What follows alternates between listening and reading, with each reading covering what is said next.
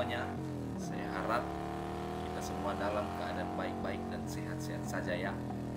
Nah, dalam motovlog kali ini saya akan mengajak kalian semua untuk melihat bagaimana kondisi se sehari setelah banjir bandang menghantam kota Manado. Kali ini jalur yang akan saya tempuh beras berawal dari pertigaan tol menuju ke daerah Winangun dan sekitarnya. Nah, di titik yang pertama ini kita akan melewati salah satu ruas yang terdampak yaitu tanah longsor dan banjir lumpur yang cukup tinggi sehingga mengganggu pengguna jalan atau pengendara di ring road pada saat itu. Kalau kita lihat di sebelah kiri ini ini masih terlihat sisa-sisa lumpur dan bahkan alat berat yang sedang dikerahkan untuk menyapu bersih. Sedangkan kalau teman-teman lihat di arah kanan itu masih bisa terlihat banjir yang masih ada, mungkin beberapa senti bisa jadi ya. Nah dari arah sini saya terus memacu kendaraan saya menuju ke daerah Malendeng jembatan. Nah ini adalah salah satu daerah yang paling parah yang terdampak mungkin ini salah satu kalau teman-teman cari di Facebook atau YouTube tentang banjir bandang di daerah sinilah yang uh, terdampak yang sangat parah karena mengingat ini adalah daerah aliran sungai yang sangat besar. Nanti saya coba memasukkan footage yang menunjukkan tentang situasi pada saat itu. Nah dari sini saya terus memacu kendaraan saya sampai di salah satu pompa bensin. Nah, di sini juga sangat parah teman-teman kemarin. Kalau kita lihat bahkan banjirnya belum surut.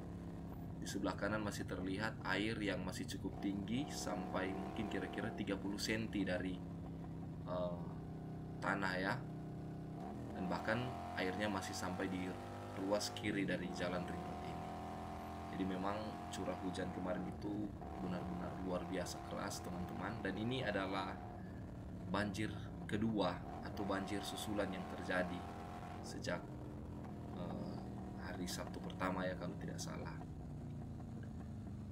Nah, tidak jauh dari sini teman-teman kita akan sampai di daerah Ring Road yang memiliki terowongan. Di sini kemarin itu macet total atau putus total karena memang terjadi longsor sehingga menutupi mulut dari salah satu sisi ujung terowongan yang ada.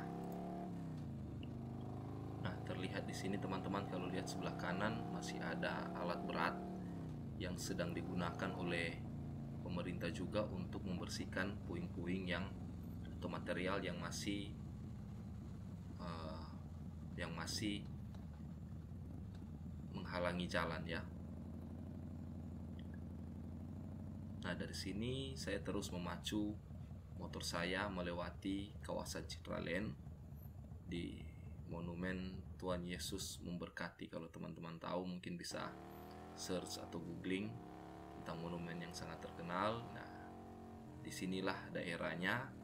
Tidak lama lagi kita akan melewati monumen tersebut. Cuma karena di sana tidak ada apa-apa ya teman-teman saya jadi saya akan langsung mengkat videonya saja sehingga kita bisa melihat tempat-tempat atau titik-titik penting yang terjadi pada saat banjir berlangsung. Nah, setelah melewati kawasan terowongan, saya sampai tiba di depan kawasan Citralen Manado. Di sini terdapat monumen Yesus memberkati ya kalau teman-teman bisa googling saja. Nah, di sini terjadi pengalian jalur teman-teman.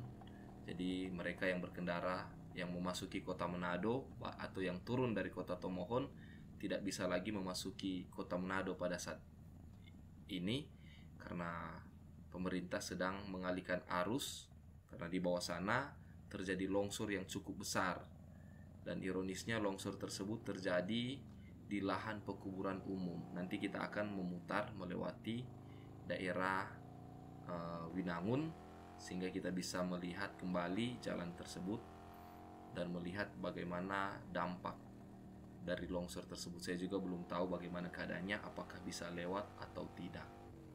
Nah, di sini terjadi penumpukan arus lalu lintas ya, teman-teman. dari arah atas ini adalah mereka yang berasal dari kota Tomohon yang akan memasuki kota Manado dan bisa jadi mereka dialihkan melalui salah satu ruas jalan yang berada di dalam ring road Citraland ini.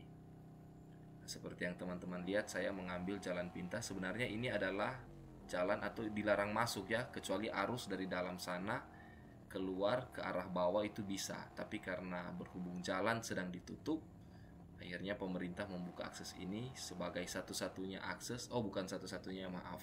Ini salah satu alternatif akses untuk masuk ke dalam kota Manado via Kelurahan Winangun ya. Nah, nanti teman-teman akan melihat bagaimana dampak yang cukup mengagetkan juga ya.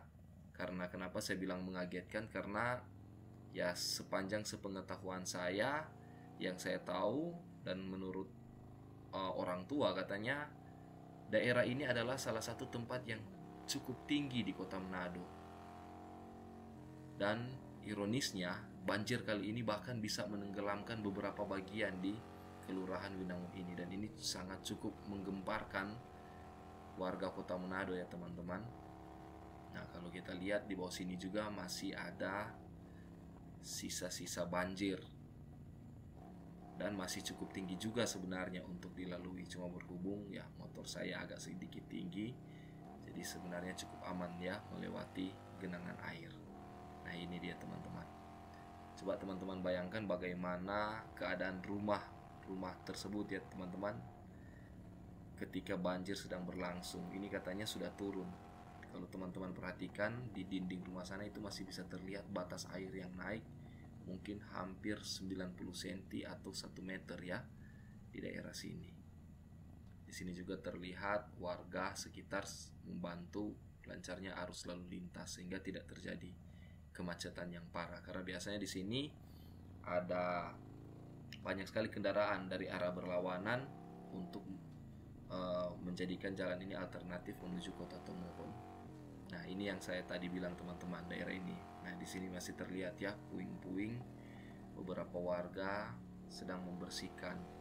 Kalau teman-teman coba googling, inilah Alfamart yang beredar banyak di sosial media di Kota Manado di mana air cukup tinggi di daerah sini. Padahal di sini teman-teman kalau teman-teman datang langsung teman-teman pasti akan heran karena bahkan salah satu gedung saja yang cukup tinggi itu bisa terlihat di sini bahwa gedung itu berada di bawah. Jadi ini memang daerah yang sangat tinggi, tapi luar biasa banjirnya itu bisa sampai setinggi setinggi ya setinggi lutut orang dewasa mungkin di daerah sini.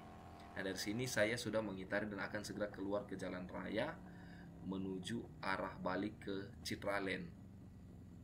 Di sini saya melewati daerah militer ya, apakah ini daerah Kodam Koramil saya juga kurang tahu, tapi yang pasti ini tembus ke jalan raya. Nah, itu jalan rayanya di depan, teman-teman. Saya akan belok ke kanan sehingga kita bisa memantau langsung bagaimana keadaan uh, longsor yang terjadi di daerah pekuburan tersebut. Jadi karena durasinya cukup panjang ya saya langsung skip saja ya. Nah, ini daerahnya, teman-teman. Kita akan segera memasuki daerah longsor dari.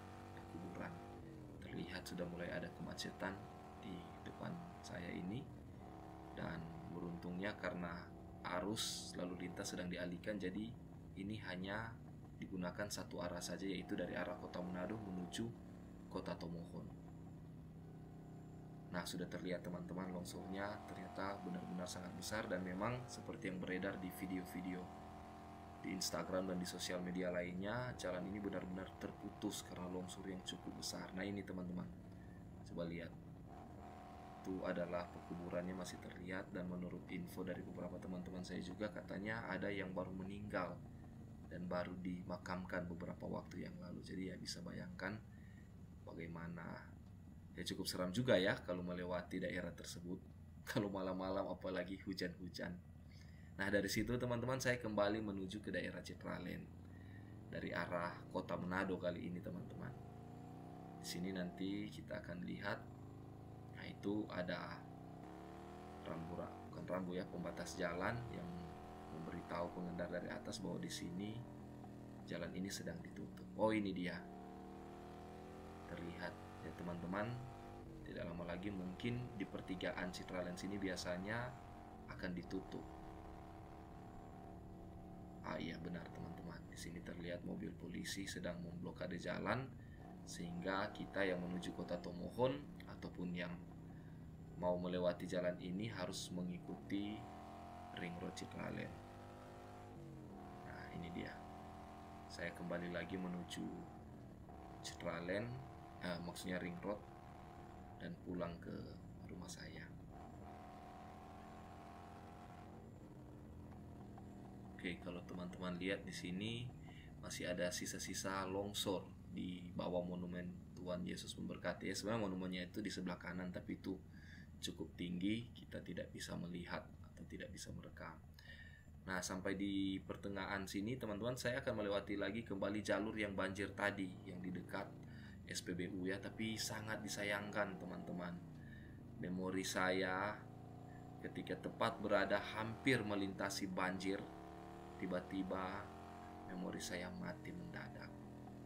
Ya, jadi footage-nya teman-teman hanya sampai di sini saja. Jadi memang saya ini audionya saya rekam secara terpisah ya, bukan pada saat live karena saya takut hujan. Nah, di tengah perjalanan teman-teman saya menemukan bukan menemukannya bertemu. Tadi awalnya waktu datang tidak ada ya rombongan ini. Ini adalah tim Basarnas ya atau tim SAR dengan kepolisian yang sedang mencari salah satu korban yang menurut info adalah seorang anak kecil yang hanyut dan terbawa arus. Waktu saya lewat tadi di sini belum ada belum ada aparat seperti ini ya.